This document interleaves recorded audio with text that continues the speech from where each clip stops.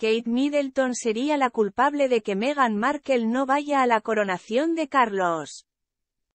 Luego de que portavoces de la familia real informarán al público que el príncipe Harry asistirá a la coronación del rey Carlos en solitario, dejando a Meghan Markle en casa, algunos medios de comunicación y expertos en realeza se han puesto a pensar sobre la razón por la cual la duquesa de Sussex se tendrá que quedar en Los Ángeles, lejos de Londres, señalando a Kate Middleton como la posible responsable.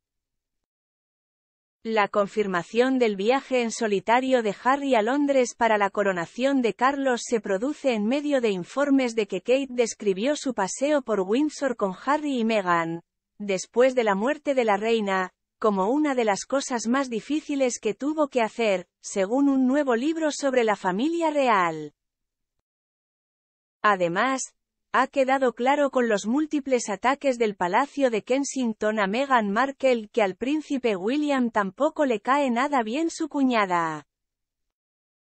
Así que ya serían dos en ese matrimonio que estarían dispuestos a hacer de todo para evitar ver a la actriz. Esta no sería la primera vez que la duquesa de Sussex es excluida tan visiblemente de los eventos importantes de la familia real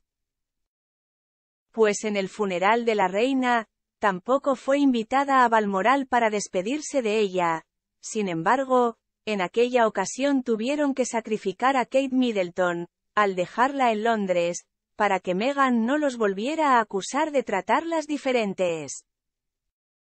Por lo que esta ocasión sería la revancha perfecta para Kate Middleton y la familia real, porque como Harry y Meghan lo revelaron en su documental, cada vez que aparecen en Londres se roban los titulares de las noticias, algo que podría herir a Carlos seriamente, pues es el día de su coronación ha sido uno que ha esperado por mucho tiempo.